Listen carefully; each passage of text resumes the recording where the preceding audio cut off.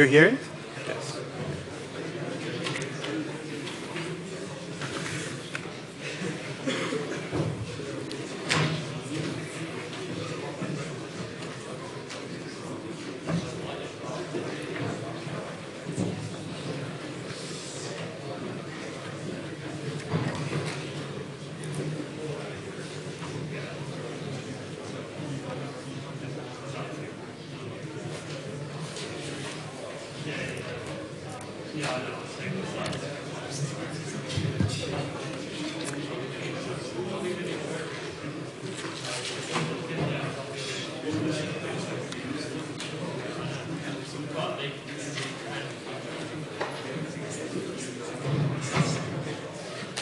Okay, good morning everyone and welcome to the sixth lecture in the numerical methods and computation course. So we are going to continue our discussion about the eigenvalues and eigenvectors. So this is the last thing that you are going to hear directly about it. And after that we will move on to the linear systems today. Okay? Uh, but before that, uh, one quick thing. So we have received some emails from you that you have problem with the scheduling about the lab, computer lab. And we are aware of that. We are in contact with people who are in charge of it, so hopefully we can kind of resolve the issue. I mean, few of you have problems like being assigned, I mean, to two dates or just none of the, or you prefer one of the dates, something like that. Okay? We will fix it. Okay, so as a short recall, what we were talking about was this. We had a pendulum. So we know that from dynamics, we can come up with the equation of motion. And then here is the here is the differential equation, the second order ODE, ordinary differential equation, that describes the variation of theta with time. As we said, when we have, a, we have an equation that describes the evolution of a system over time, then we call that equation a dynamical system. Then we said that, okay, if we have this general form of a dynamical system, which is the variation of y with respect to x, equals to some general function f of x and y, and for this we can find the state variables ye at which the system is in equilibrium.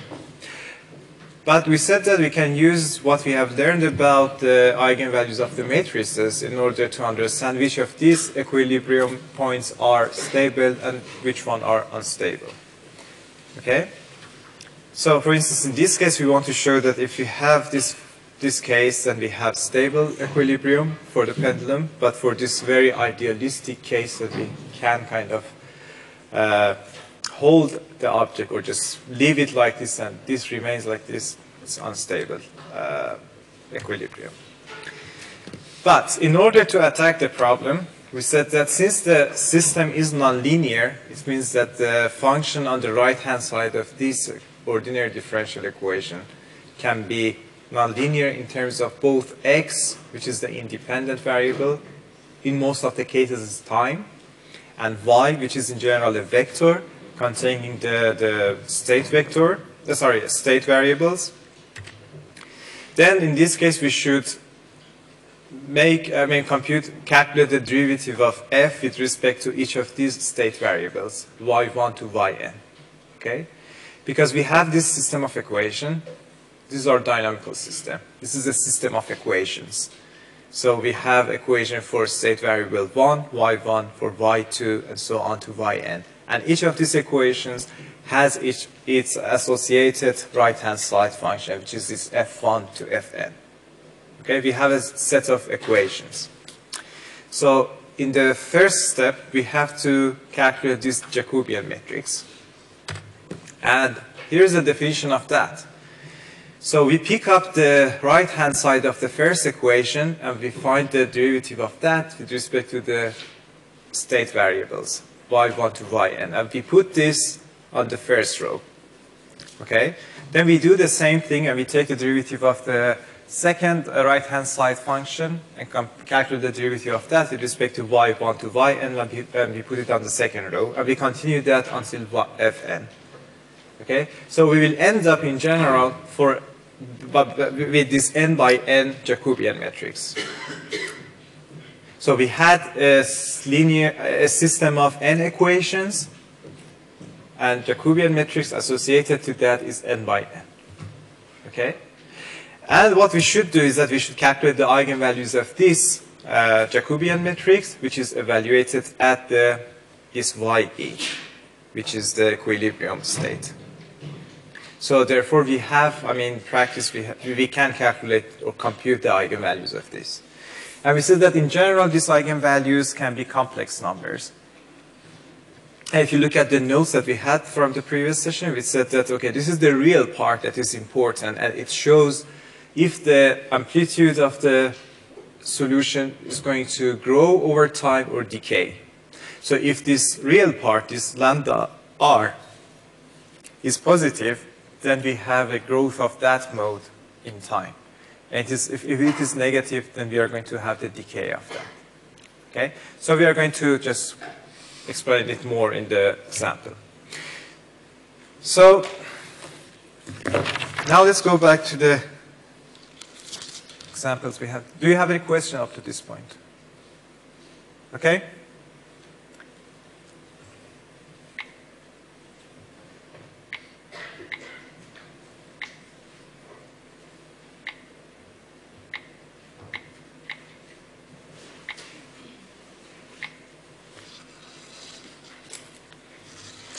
Okay, so remember this is the equation that we had. So we have a second order ODE. We have one second order ODE.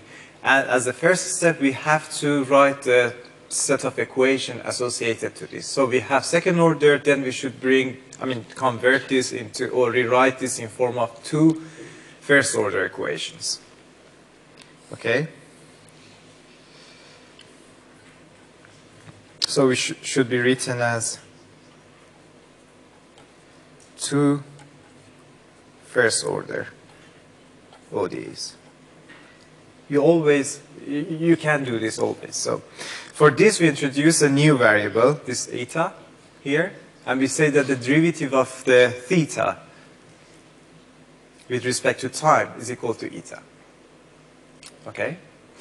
Then we plug this, if I call this equation 1, so we use this in 1, which means that, okay, you can rewrite this uh,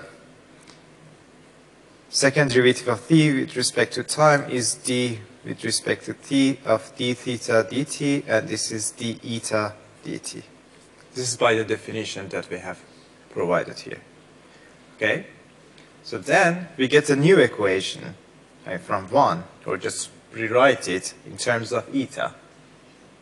And this is exactly what we needed. Now, instead of this equation 1, which was a second order ODE, we have two first order ODEs here. All right? Perfect. And on the right hand side, we have our f functions, f1 and f2. As we said, this can be uh, a function of t and also eta and theta, which are, that these are our state variables. So these are equivalent to vector y that we had. So okay, this is y1, this is y2 in the general definition that we had in the previous slides. Is it blurry or? Okay, so do you have any question about this? How we rewrite this second order ODE to two first order? Okay, then you have this. So what you should do is to form the corresponding Jacobian matrix. And for this, we are following the definition. And we said that, okay, first right-hand side function, which in this case is this guy, is going to be, so we should find the derivative of that with respect to eta and theta because our y1 is eta and y2 is theta. And then we go to the second row and do this for the second function, which is in this case the right-hand side. This is f2. So derivative of f1 with respect to eta is 0 because we do not have any eta. But if we take the derivative of this with respect to theta, then clearly it's minus g over L cosine of theta. And for f2, uh, Uh, I mean, derivative of that with respect to eta, we have 1, and since there is no theta, we get 0 here. Okay?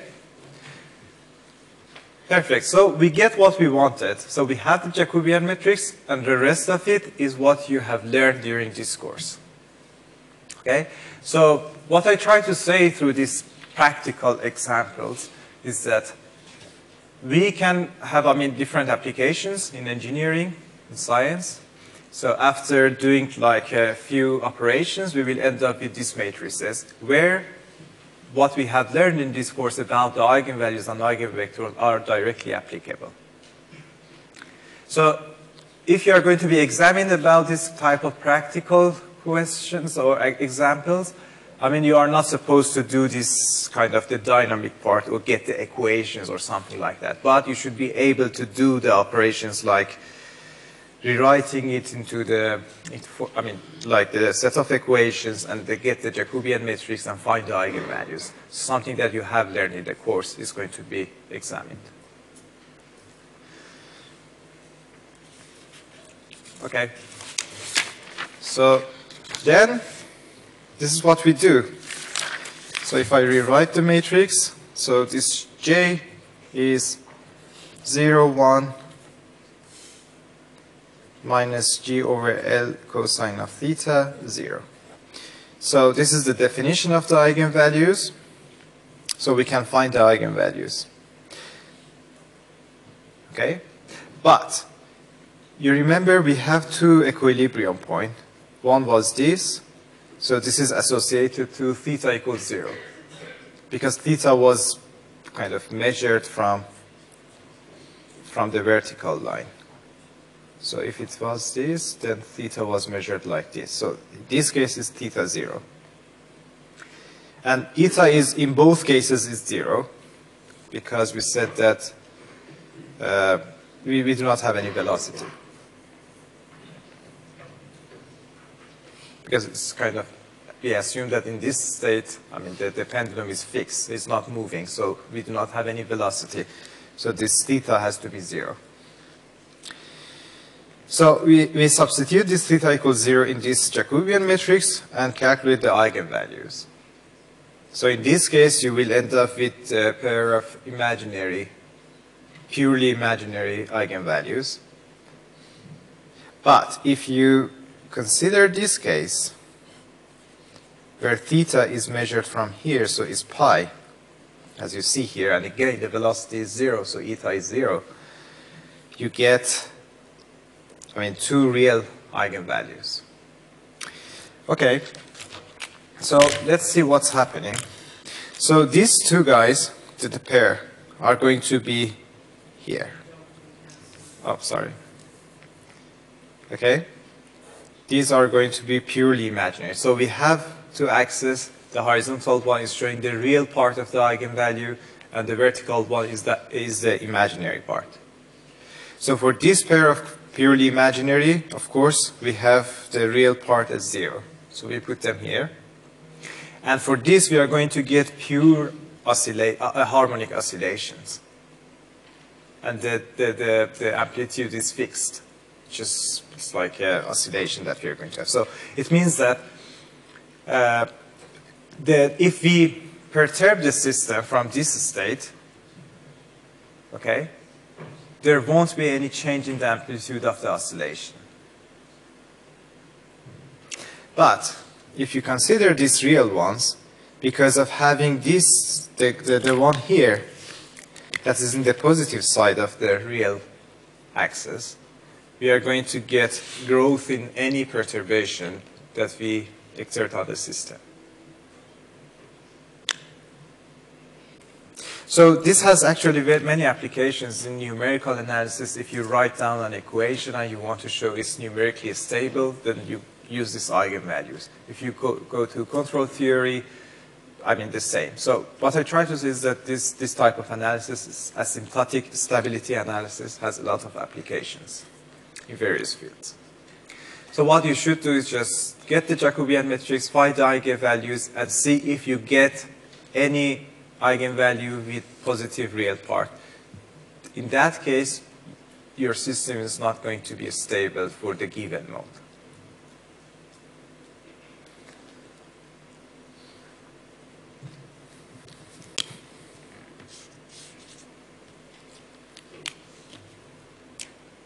Was it clear? Do you have any question? Yes, please. Repeat what?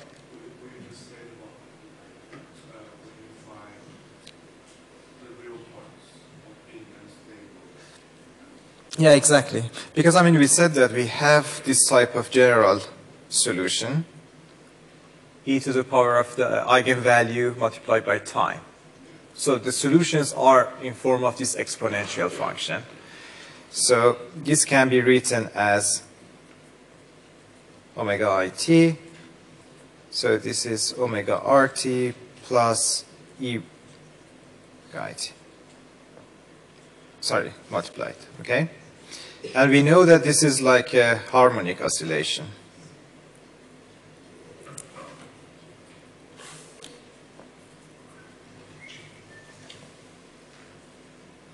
But this one is the amplitude. So if you have lambda r positive, time is positive always. So as the time passes, then your system may kind of, kind of, the, the, the mode of, the amplitude of this mode is going to grow over time. Which means that if the initial perturbation, so you, you, you have an initial perturbation, which is very small amplitude, this amplitude can be amplified, can grow over time, which means that your system is going to be out of the equilibrium state in this case.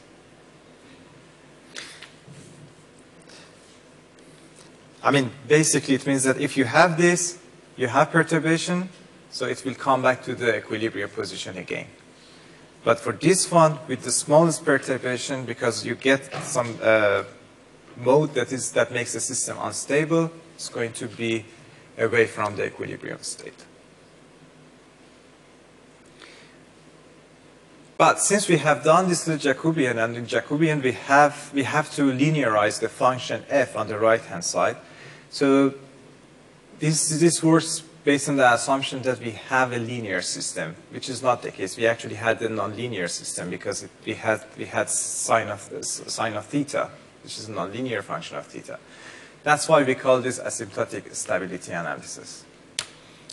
But, but it's not important for you. For you, I mean, the, the pickup message that you should kind of be able to find the eigenvalues and associated eigenvectors where the matrices are being resulted from uh, different applications in engineering and science.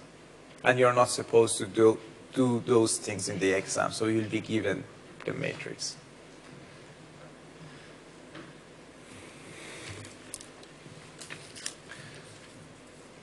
Okay. Any more question or comment? Yes, please. Wait, so for a rule of thumb, so if our eigenvalues are complex, it's stable. If they're real, they're, right? So we may have like two real eigenvalues with negative sign. So still stable.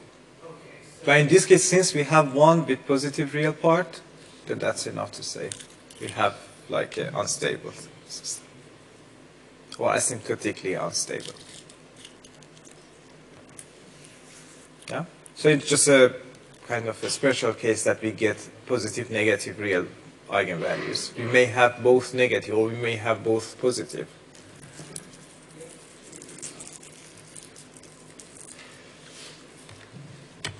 Okay, then there is another example in the in the slides. So we have this uh, system. We have two weights.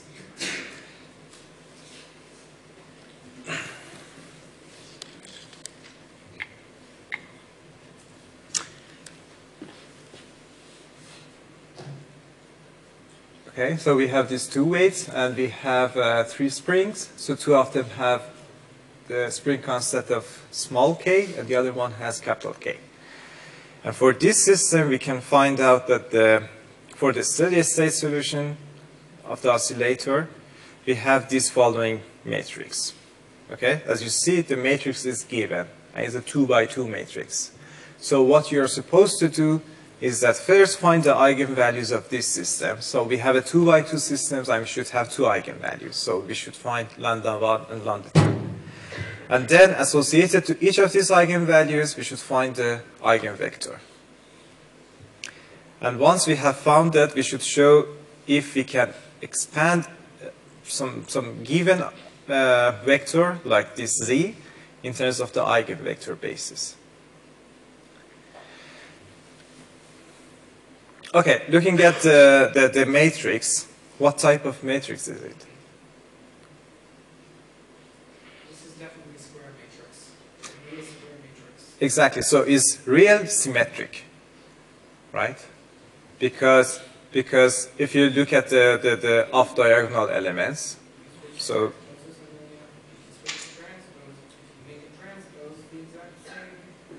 yeah. But we had a theorem. Do you remember that I said that okay, we have a matrix which has all the good things. So this is the one. Is real symmetric.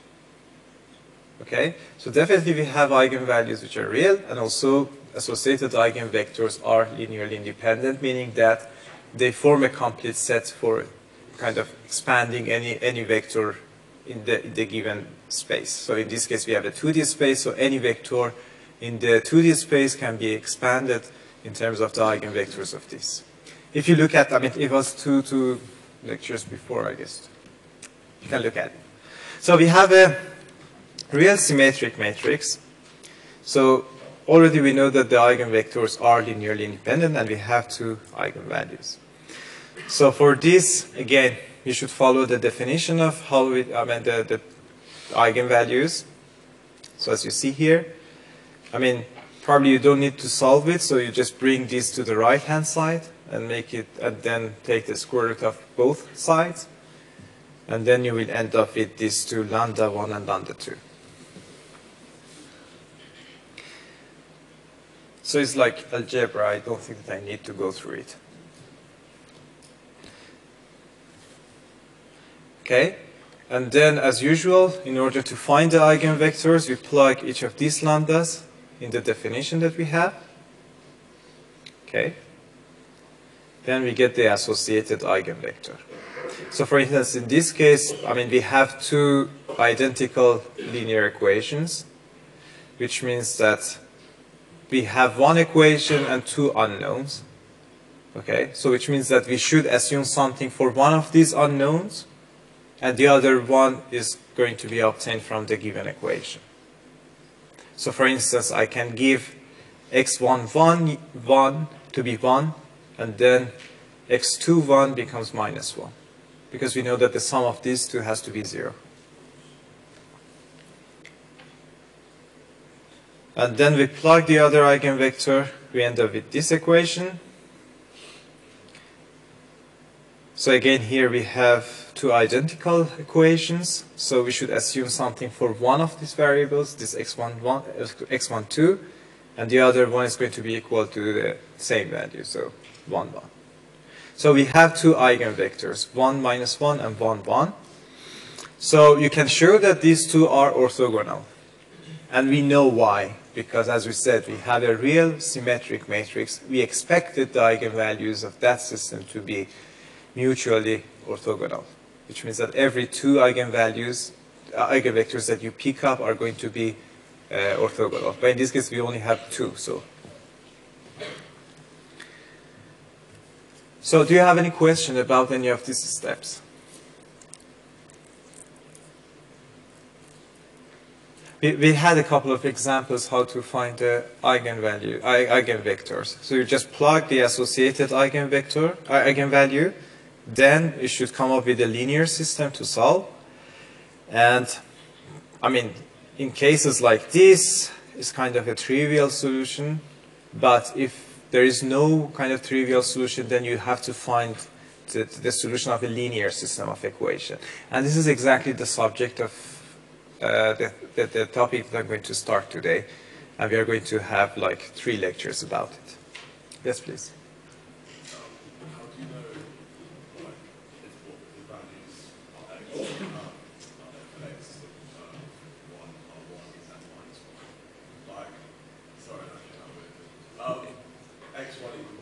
Yes. Okay. So you mean how to solve the equations? That's fine, I can, I can write it down here.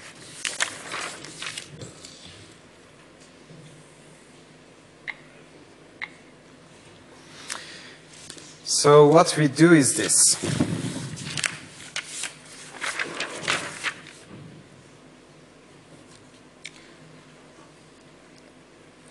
So for instance, we have this k over m minus k over m, and this is also repeated below.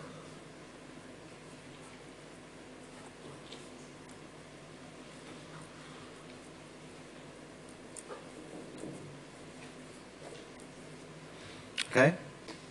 But if you write this down in terms of equations, then it is km x11 plus k over m x21 is 0.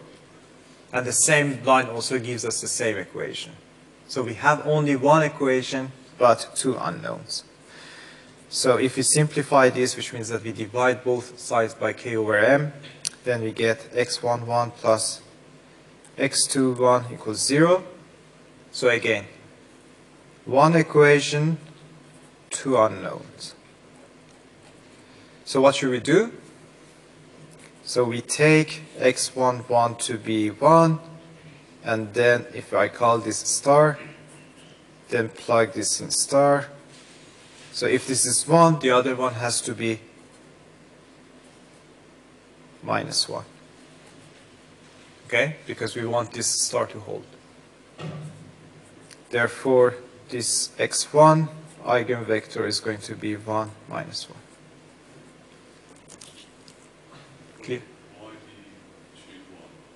I'll just put, put 10. Doesn't matter. I'll do, do whatever you want. Just always, I mean, the simplest thing that you can put, the nicest, simplest thing is 1. Yeah, yeah. Sorry, I didn't get your question. Okay.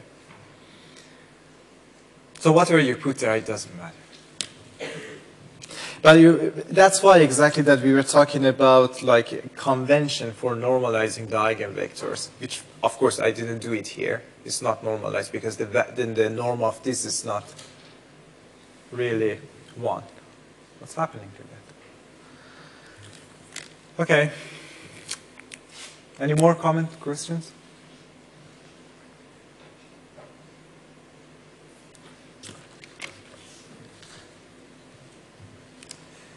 Okay, if not, we are going to start a new lecture, a new topic. Ah, no, no, I forgot thing. So this is here. So because we are supposed to, to kind of show that this vector z that is given 5 minus 3 can be written in terms of, I mean, as a linear combination of these eigenvectors. Okay? Which means that there are C1 and C2 for which we can I mean, write z in this form. So it's exactly this z left-hand side is a linear combination of these two vectors x1 and x2. So our task here is to find c1 and c2. Of course, here we have two unknowns, and for that, for a unique solution, we need to have two equations. As you see here, we have the two equations. So it's just the first uh, first element multiplied by C1, so it's 1 C1 plus, again, 1 multiplied by C2 equals to the first row of the right hand, or left hand side, in this case 5.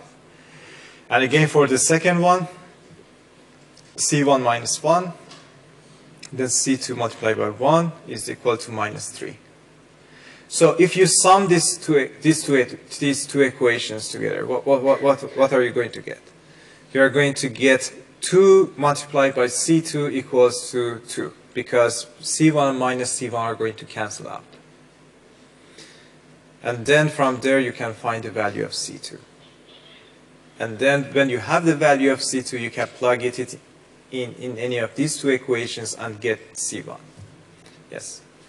Yes please. so when we calculate the eigenvectors the only thing that matters is that they have the same magnitude but one of the signs is different for the first one and they've got the same magnitude for the second vector Yeah. Exactly, yeah. So it's all, exactly. So that's why that we are saying that it's always good to apply the convention of having length or norm 1 or normalize the eigenvector. Okay? That, that's actually a very good question. Yeah. And also connected to the previous one. So I didn't do it here, but I mean, to be safe, it's always good to do it. Any other question? Yeah. Wait, is this exactly how you expand such a vector? Exactly. This is this is this is like yes, this is expansion. It's linear. You are expressing a given z in terms of these two vectors, and as you see, we have unique uh, values for c1 and c2, which means that for the given vectors z, I mean, we have a unique kind of decomposition of the vector in terms of the eigenvectors. And this is the good property of the matrix that we had, right? Because the matrix had mutually orthogonal eigenvectors. So they could form a complete set of vectors to span any vector, to span the 2D dimension, because it was 2 by 2 matrix.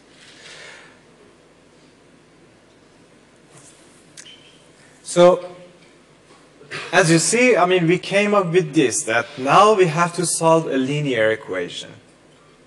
So I just explained how to solve this by just, this was a very nice case, so I could just sum these two equations together and get values of C1 and C2 directly.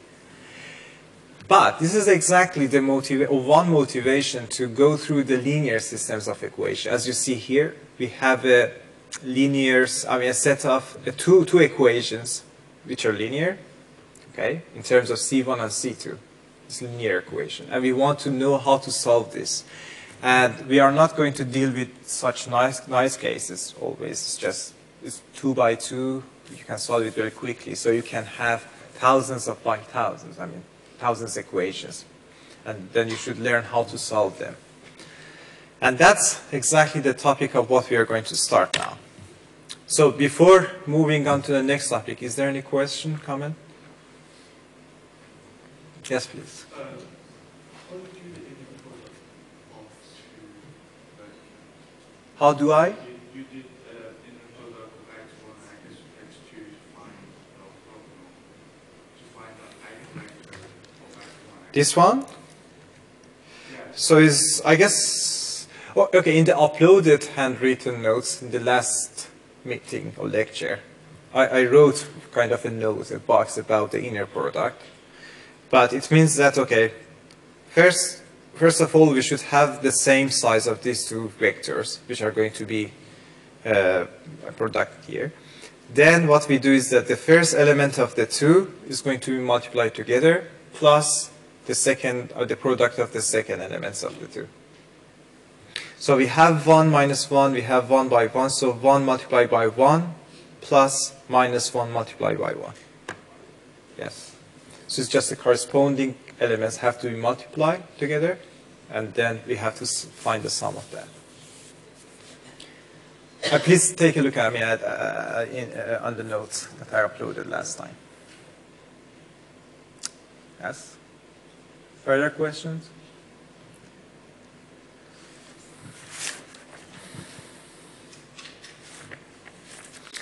Okay, excellent. Let's, okay, so this is the new lecture. So, starting from today, we are going to talk about the methods by which we can solve the linear algebraic systems. Which means that we have a system of linear equations and we want to learn how we can solve them. Either just applying direct methods, for instance, finding some, uh, maybe the use of inverse matrices, or do iteration. This is exactly the approach that we do in practice when we use computers. So we when we say uh, iterative, it is that we start from an initial guess and we try to refine that initial guess so that it converges to the actual solution. Okay? And this is exactly, whenever we talk about iterative, it means that we are talking about numerical, I mean, uh, numerical methods. So we are going to have three lectures. So the one today, we are going to start from the definitions, motivations, and uh, look at the Cramer's rule and also Gaussian elimi- elimination. Then we have next meeting, the next lecture.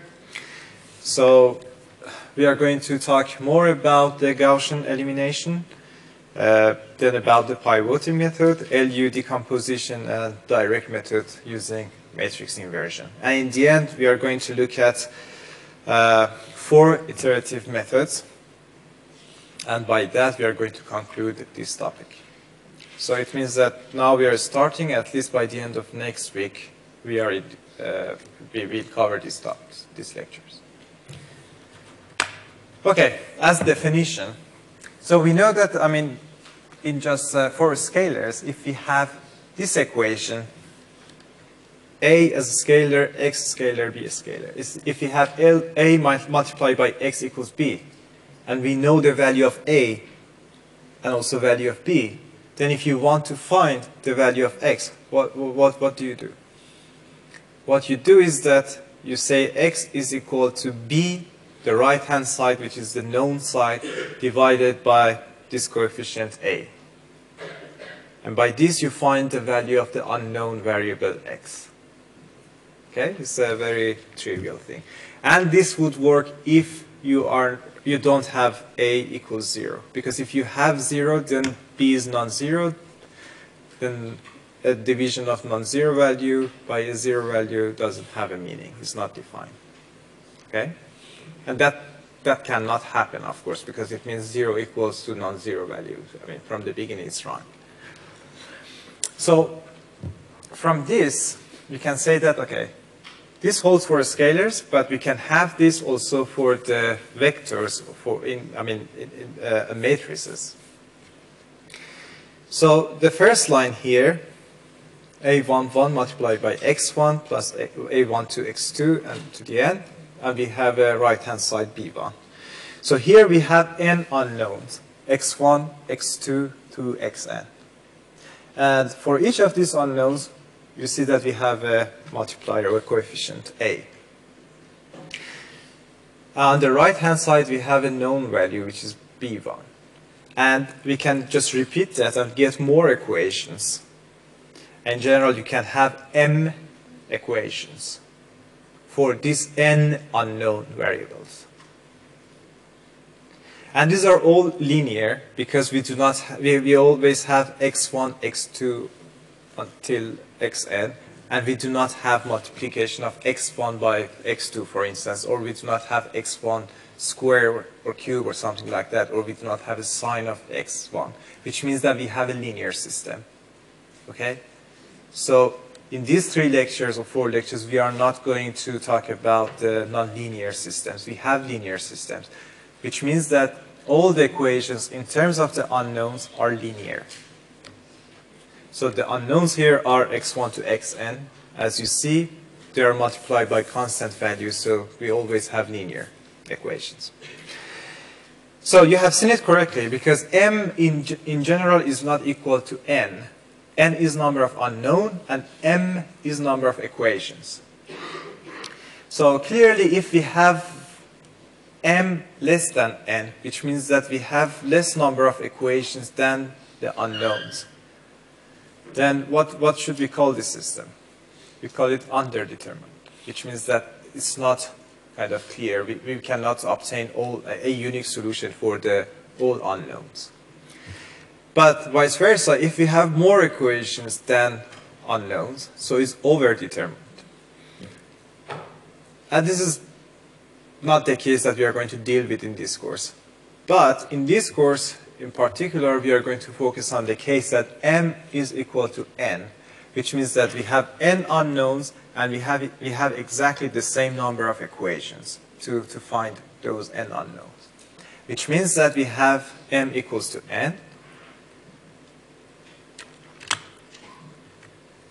As you see here, we have this n by n equations. So each row is like one equation one set of equation for these n unknowns. So do you agree with me that we can use what we have learned about the matrix forms in order to write this set of equations like this, what we have in the bottom? So the first the coefficients of the first equations are going to be the first row of this matrix, as you see here. Okay? So this first row here is going to be here. And then we have a column vector of the unknowns. On the right-hand side, we have column vector of the right-hand side, b1 to bn. So this is the standard form of the linear systems. And usually we call this matrix, which has the which, which contains the coefficients as matrix A. Okay. And based on the assumption that we had that M and N are equal, we have this matrix to be, I mean, uh, as a square matrix, N by N. So, do you have any question or comment up to this point? Because it's very important that we agree on the conventions and definitions.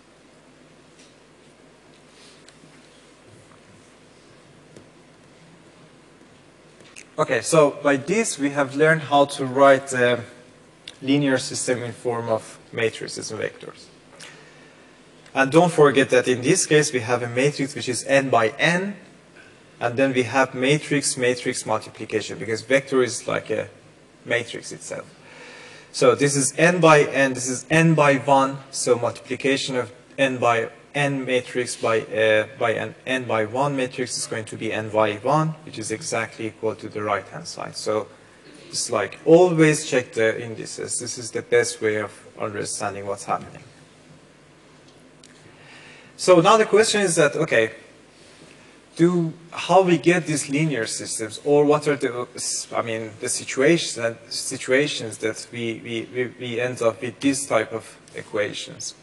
So as we said, we are talking about uh, numerical methods and computation. So in general, we have an engineering application or a physical system, which is described by a mathematical equation. So this is just an example here, but as you saw in the first lecture that we can have equations uh, like na the Navier-Stokes equations, which are very complicated, and there is no closed form solution for them for, I mean, general case which means that we have to find the discrete form of these equations. And this is the task of the numerical analysis, to find this discrete system. And then we should solve these discrete systems using computer. So if you want to get an example, I mean, this is like a body here, so it's like a smooth curve, which means that we have a, we have a continuous system. And it's the right-hand side of the equations. And we have some equation which we cannot solve analytically, and we want to solve it numerically. So we approximate that continuous system by a discrete one, which means that we just put some a finite set of points or nodes on the boundary and then approximate this kind of a smooth curve by these uh, piecewise linear functions. This is just one way of approximation. And then, instead of finding the value of the solution of uh, the, I mean, the, the, the, solution at all points in the continuous setting, what we are going to do is that we get the approximate values of that quantity at a set of discrete values, at discrete points, this y1 to yn. So what we have here is that we had a we had a differential equation, we have we have it discretized, then if you write down everything in the discrete form, you will end up with a linear system. If you solve this linear system, then you can find out the, the value of the quantity of interest at these y1 to yn points. Okay, so definitely this linear algebra system or the problem is the core of many, many numerical analysis and computation problems. So we should really learn how to solve linear systems of equations because this is like the cornerstone for, for almost every computational algorithm. Good. So as you saw, I mean, the outline, we have a number of approaches to solve this equation, these linear systems, and we are going to discuss several of them in this course. But the starting point is that this Cramer's or Cramer's rule. So here, I mean, this is the most basic approach. This is a direct approach. It doesn't have any iteration. So basically says that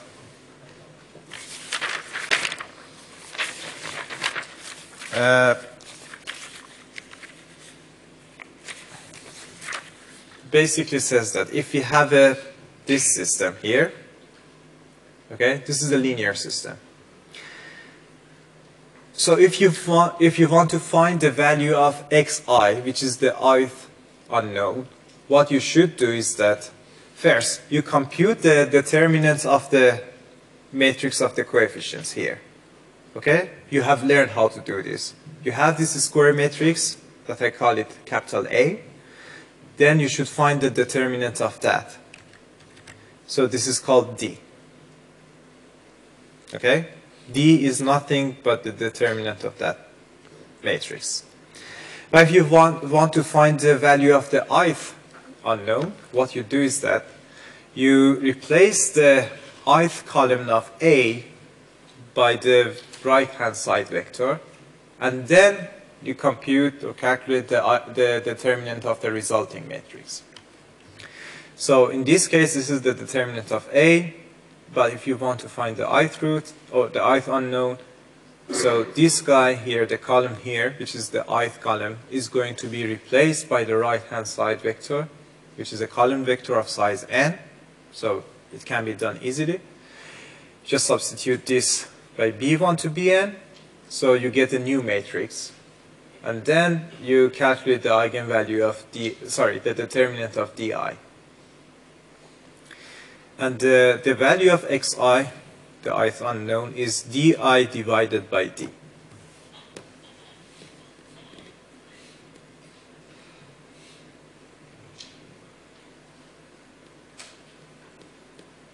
You remember that uh, when we were discussing determinants, we said that the complex, uh, the computational complexity is of order n factorial.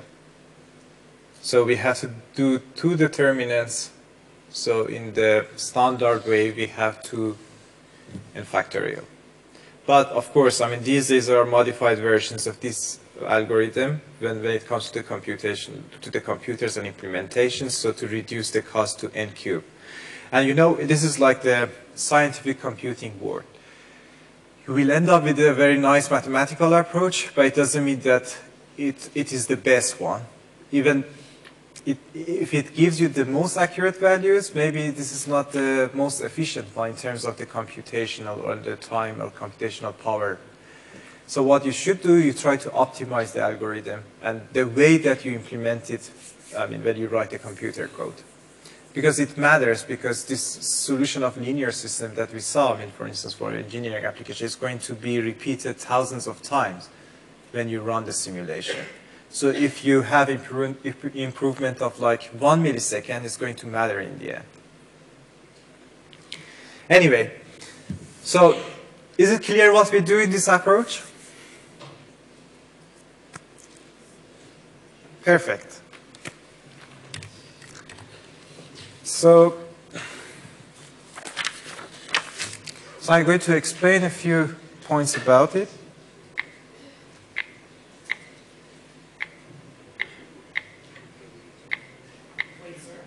Yes?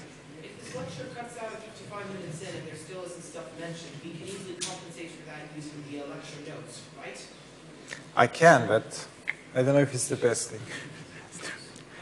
yeah, I can if you want, yes. We're talking about, talking about, wait, so this can be compensated with the lecture notes. Yes. Yeah. But I guess I have checked. I mean, still we, we have time, like five minutes or three, four minutes. Yeah, I mean, the recording will be fine. So, okay, we have this example, and after that, we can just. Okay, so as we said, this xi is going to be equal to di over d.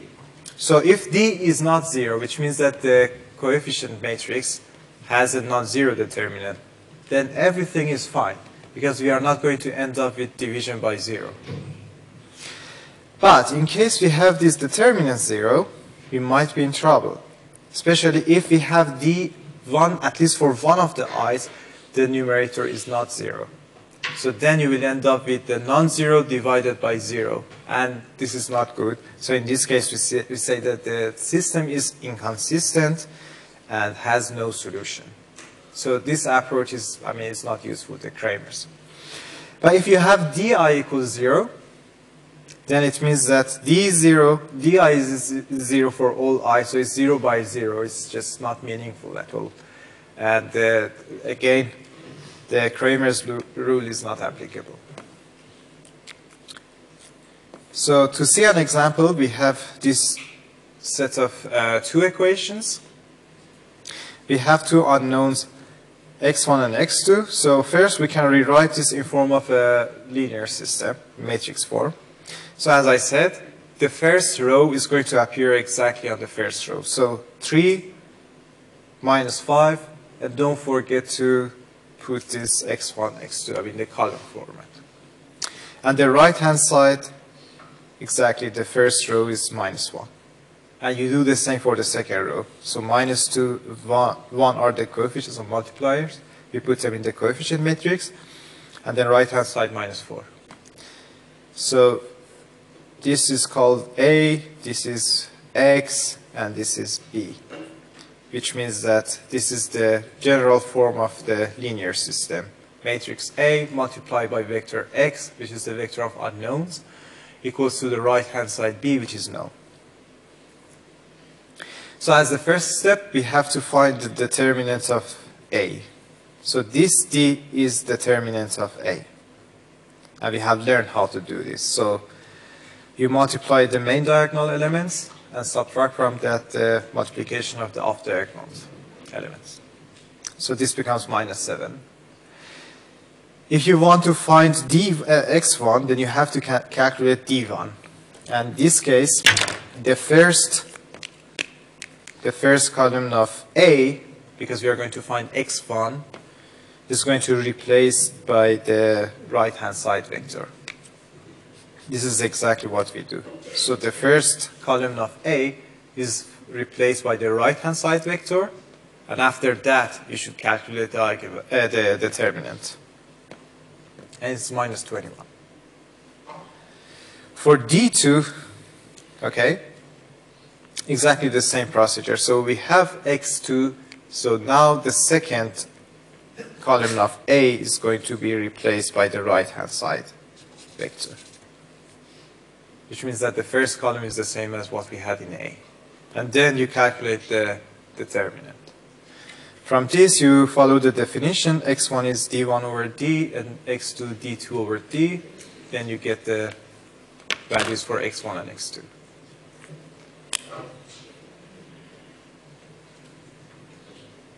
Okay? Perfect. So, do you have any question, comment? Otherwise, thank you for today and see you on Monday.